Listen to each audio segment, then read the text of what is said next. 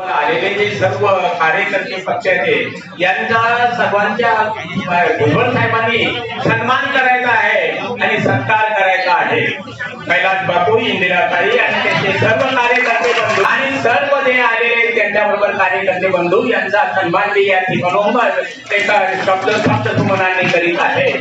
सर्वांनी टाळ्या वाजवून अन्न पुरवठा नागरी मंत्री माननीय भुजबळ साहेब जिल्ह्याचे सारे नेते यांच्या उपस्थितीत यांच्या सहकार्याने यांच्या आशीर्वादानं सौ इंदिराताई आणि असंख्य कार्यकर्त्यांसह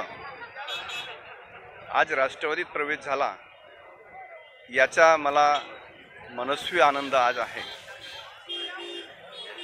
तर राष्ट्रवादीत प्रवेश का केला याच्याबद्दल जर तुम्ही मला विचारलं खरं नगरपालिकाच्या निवडणुकीपासून स्थानिक आमदार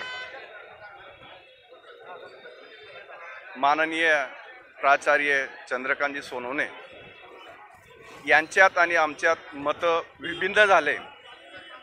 त्या दिवसापासून जिल्ह्याचे नेते असतील नव्हे तर आज राज्याचे मुख्यमंत्री उद्धवजी साहेब यांच्यापर्यंत तालुक्याच्या कार्यकर्त्यांना घेऊन त्या ठिकाणी कार्यकर्त्यांचे किंवा साऱ्यांचे आम्ही त्या ठिकाणी प्रश्न मांडलेत. एवढंच नाही तर शेतकऱ्यांचा तालुक्यातला सगळ्यात मोठा प्रकल्प तापी शेतकरी सुदगिरणीचा त्या ठिकाणी देशाचे नेते माननीय शरदचंद्रजी पवार साहेब आणि उद्धवजी साहेब मान्य भाईंच्या मार्गदर्शनाखाली त्यांना ज्यावेळेस आम्ही आमंत्रित केलं मान्य उद्धव साहेबांनी तारीख दिली त्या पद्धतीने आम्ही त्या ठिकाणी तयारीला लागलो. आणि आयत्या वेळी एक शेतकऱ्यांचा प्रकल्प होता एक शंभर करोडचा तो मोठा प्रकल्प. तो माझा नव्हता तो तालुक्यातला शेतकऱ्यांचा प्रकल्प होता. आणि त्याच्या उद्घाटनासाठी मान्य उद्धव साहेबांनी आलं पाहिजे होती साऱ्या तालुक्यातील शेतकऱ्यांची कार्यकर्त्यांची इच्छा होती. आणि ते आले नाहीत. आणि राष्ट्रीय नेतृत्व माननीय शरदचंद्रजी पवार मान्य भाईंच्या मार्गदर्शनाखाली सुगिरणीचं उद्घाटन त्या ठिकाणी झालं. आणि त्या दिवसापासून खरं संपूर्ण कार्यकर्त्यांची त्यांची नाराजी झाली. तरीसुद्धा मी कुठलाही निर्णय न घेता पाच वर्ष स्थिर राहिलो.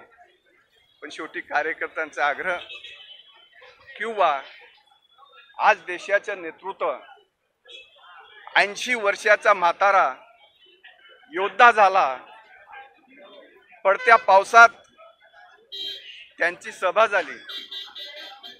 त्यांच्यावर मी आकर्षित झालो आणि महाराष्ट्राचं चित्र बदललं. दुसरे महाराष्ट्राचे नेते मान्य अजितदादा यांच्या कामाची दडाडी आणि मंत्रिमंडळातले माननीय आजचे यांच्या आशीर्वादानं आज प्रवेश झाला. ते भुजबळ साहेब माझे जुने सहकारी त्यांची कामाची धडाडी मला साऱ्यांची त्या ठिकाणी माहिती होती. त्या त्यांच्यामुळेच मी खरं आज राष्ट्रवादीमध्ये प्रवेश केला.